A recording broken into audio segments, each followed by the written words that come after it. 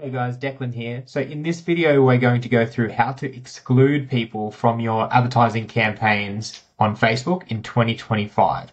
So what you want to do is you want to go into the back end of your ads account and you want to go to the ad set level, select your audience that you want to target.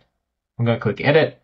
Now, if you've been running Facebook ads for a few years, you would remember that you used to just be able to exclude people from your targeting options. So you used to be able to exclude interest, um, you can kind of exclude nationalities by way of um, excluding languages and interests and places that they might have as well. Um, but they've gradually taken this away. So I have about 30 or 40 ad accounts that I manage.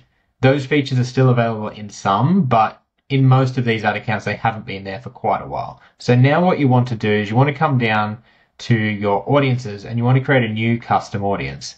Now, what you want to do is you want to go create a custom audience and you want to upload a CSV file like this. So download a list of all of the uh, like crap leads basically that you have, and you want to put them all onto one big CSV file. So these would be like all bad leads, um, anyone who you know you've called and they haven't answered, all that kind of stuff.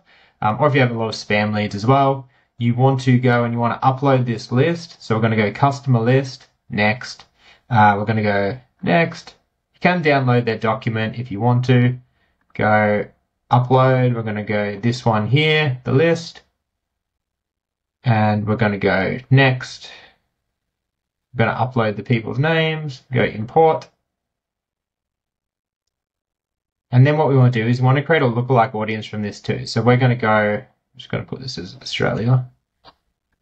We're going to create a lookalike audience. So now we've uploaded our list of all the crap leads. Let's say there's, you know, 100, 200 of them. And now we've created a lookalike audience of these people too.